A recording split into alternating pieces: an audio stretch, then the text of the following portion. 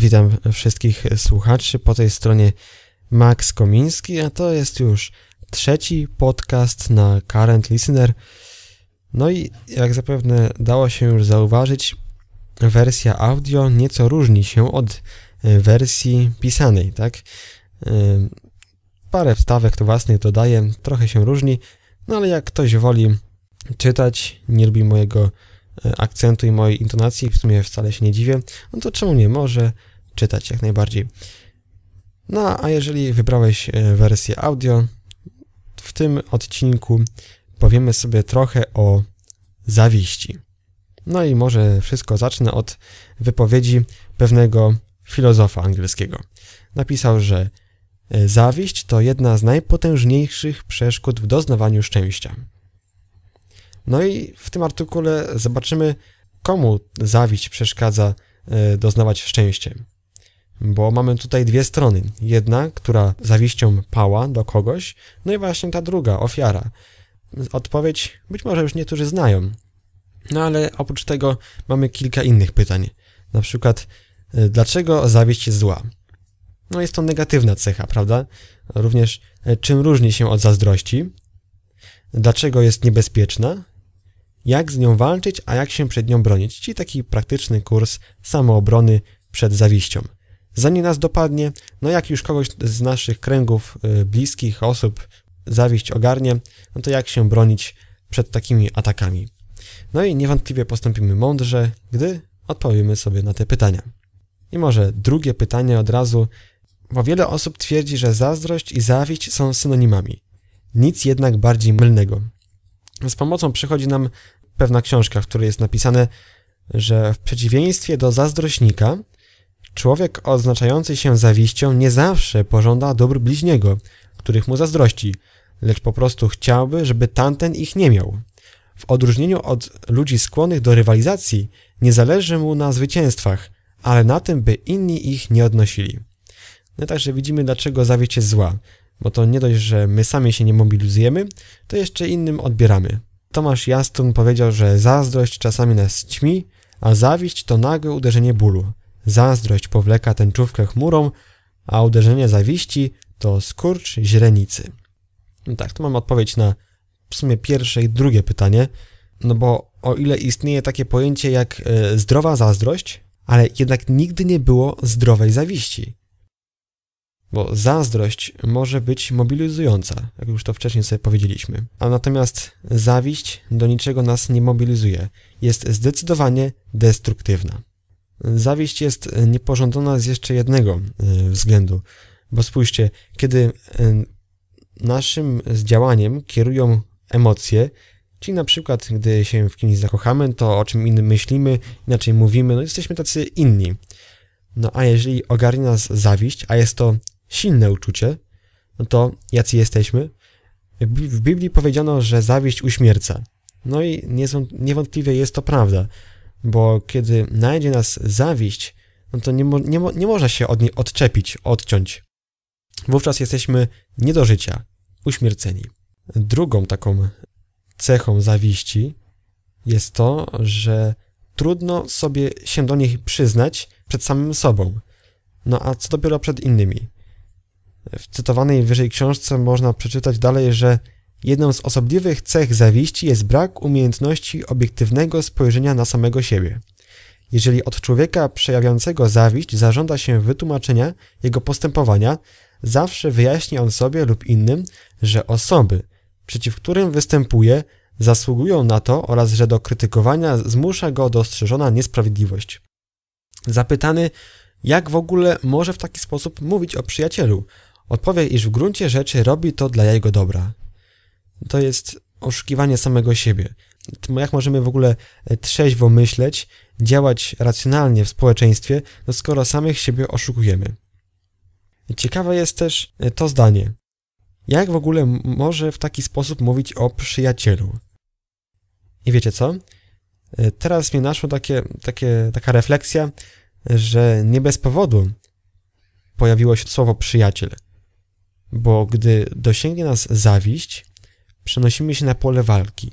Atakujemy często bliską nam osobę, by zniszczyć jej opinię u innych, a tym samym wzmocnić swoją reputację. No tak, i w internecie kiedyś znalazłem taki obrazek e, przedstawiający diagram kołowy, no a pod nim podpis osoby, które najczęściej obrażam. No i zdecydowaną przewagę mieli ci, których autor tego obrazka lubił. Przygotowałem także krótkie doświadczenie pewnego mężczyzny, który tak opowiada. Od lat pracowałem z naprawdę wspaniałymi ludźmi. Lubiłem ten zespół, a oni lubili mnie. Wszystko się zmieniło, gdy moja praca okazała się istym sukcesem. Nikt nie był już taki wspaniały, przynajmniej nie dla mnie. Krytyczni, chłodni i złośliwi. Byłem tym zaskoczony i strasznie mnie to bolało. No tu mamy potwierdzenie tego, co wcześniej powiedzieliśmy, że zawiścią atakujemy bliską nam osobę. No, a dlaczego się tak w ogóle dzieje? No bo z kim się trzymamy? No z ludźmi, którzy są podobni do nas, mają podobne wartości. Nie zawsze tak musi być, no to, to czasami jest różnica wieku, ale zazwyczaj trzymamy się z tymi, którzy są do nas podobni. Jeżeli jednak taka osoba, ni stąd ni zowąd, z naszych kręgów wybije się ponad nas, zaczynamy jej zazdrościć. To jeszcze nie jest y, powód do paniki, bo jeżeli jesteśmy tylko zazdrośni, to będziemy chcieli dogonić tamtą osobę. Jeżeli natomiast zazdrość nie wywoła u nas żadnej mobilizacji, wpadamy w sidła zawiści.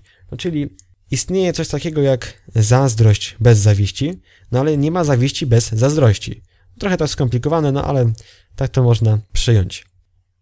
Kolejny cytat, taki znalazłem, to bardzo ciekawy. Trudniej jest nie zazdrościć przyjacielowi, któremu się powiodło, niż być wspaniałomyślnym wobec przyjaciela w nieszczęściu. Oczywiście to się tyczy tutaj zazdrości, no ale zawiść i zazdrość, choćby różne, mają wspólną celę, cechę, prawda? I teraz yy, uwaga, jak, jak zawiść może być niebezpieczna?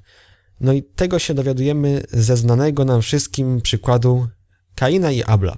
Gdyby Kain był tylko zazdrosny, postanowiłby przynieść następnym razem wartościowszą ofiarę, albo zabrałby ją swojemu bratu. No on jednak był zawistny, no a zawiść jest skierowana nie do przedmiotu czy osiągnięć, ale do osoby. Dlatego właśnie zawiść jest tak niebezpieczna. No i Kain ma, miał dwa wyjścia. W gruncie rzeczy my też mamy. Jednak on wybrał to drugie, gorsze, które przyniosło mu niesławę. No a jak się obronić przed zawiścią? Na początek warto zaznaczyć, że nikt z nas nie jest na nią cudownie uodporniony. Bo jesteśmy przecież tylko ludźmi. No i trudno nam jest zapanować nad wszystkimi naszymi emocjami, co nie oznacza, że jesteśmy na przegranej pozycji. Warto też powiedzieć o tym, że niektórzy ludzie, którzy nie mieli żadnych powodów, by in, do innych pałać zawiścią, jednak wpadli w jej sidła. Jeżeli więc ogarnia cię zawiść, wiedz, że nie jesteś jedyny, ale jeżeli chcesz ją pokonać, by więcej cię nie męczyła, to przed tobą nierówna walka. A jak jej dać odpór? Należy wiedzieć, skąd się bierze. Zazwyczaj w grę wchodzi porównywanie się do innych. Jeżeli więc e, osoby, które nas otaczają, osiągnęły wiele sukcesów, my możemy za zacząć im zazdrościć. Jeżeli nic z tym nie zrobimy, zazdrość przerodzi się z zawiść. Zauważcie, że chodzi tu głównie o nastawienie swojego umysłu. Jeżeli o czymś długo myślimy, na przykład myślimy o komórce, chcemy kupić komórkę, no nam wpadnie gdzieś w oko. Długo o tym myślimy, to te myśli, to te myśli zaczną przekształcać się w czyny. No i w światowej sławy przykład zawiści Kain miał inne wyjście. Bóg mu powiedział: Gdy zaczniesz czynić dobrze, czyż nie nastąpi wywyższenie? Ale jak nie zaczniesz czynić dobrze, grzech czai się u bram, a ty, czy nad nim zapanujesz? Chodzi więc o to, żeby nie zapełniać swojego umysłu tymi negatywnymi myślami. Nie chodzi też o to, żeby myśleć pozytywnie, tak, bo w większości tych pseudo-poradników jest myśl pozytywnie, no i myślenie pozytywnie jakby lekarstwo na wszystko. Otóż nie, ale warto jest skupiać się na, na czymś innym. No bo jeżeli masz tendencję do porównywania się, Yy, zacznij zwracać uwagę na to, co już osiągnąłeś. Może być tak, że w rzeczywistości nie ma czego innym zazdrościć. Musisz powtarzać sobie, że jesteś tyle samo wart, co inni. Nie ma się także przygnębiać tym, że inni mają więcej czy lepiej niż ty, no bo kto przez zamartwianie się dodał choć godzinę do długości swojego życia. No albo pamiętaj też, że często nieumiejętności czy wiedza wybijają kogoś ponad tłum. Niekiedy jest to kwestią przypadku. Ale czasem bywa tak, że ktoś chce celowo u nas wywołać zawiść. Jak to może się stać? Może nie uwierzycie, ale robią to często inni zawistnicy, ponieważ wiedzą, jak zawiść może być niszcząca. Ona przeżera się aż do kości, wypala nas w środku. I dlatego podświadomie, niekoniecznie można powiedzieć, że oni to celowo robią, bo tak chcą, ale podświadomie chcą, abyśmy my też czuli się tak samo źli jak oni. No bo skoro oni cierpią, ponieważ pałają zawiścią do innych i nie mogą spać, bo cały czas ich to gnębi, wierci, a to więc chcą wywołać tą zawiść u innych. No bo myślą sobie, podświadomie oczywiście, jeżeli ja cierpię, no to inni czemu też nie mają cierpieć. Jeżeli zauważamy, y, że ludzie, w których się otaczamy, chcą nas, u nas y, tą zawiść wyłonić, wtedy trzeba się zastanowić, czy nie warto zmienić towarzystwa osób na takie, które wpływałoby na nas budująco, a nie destruktywnie. Warto też pamiętać, że lepszy jest jeden, a prawdziwy przyjaciel, niż setka fałszywych. No i oczywiście ja nie wymyśliłem tu nic nowego, bo to przecież jest oczywista oczywistość. Jednak to jest tak powszechne, że czasami o tym zapominamy, kiedy jest nam to potrzebne. Więc pamiętajmy o tym, że lepszy jeden prawdziwy niż setka fałszywych przyjaciół. Ale mam także pociechę dla tych, którzy często się porównują z innymi. Mają także problem z, z własnym dowartościowaniem.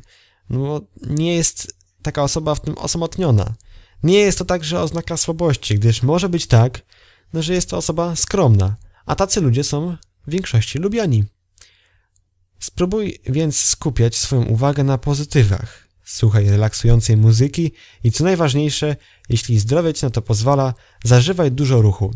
To jest potwierdzone, że ktoś, kto zażywa du dużo ruchu, jeździ na rowerze, e, spędza aktywnie czas, jest osobą szczęśliwszą. A to już nie będziemy się w to zagłębiać, może przy innej okazji.